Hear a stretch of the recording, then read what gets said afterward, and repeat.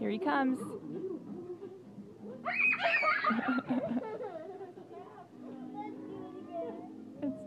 Yeah, try not to scream so loud.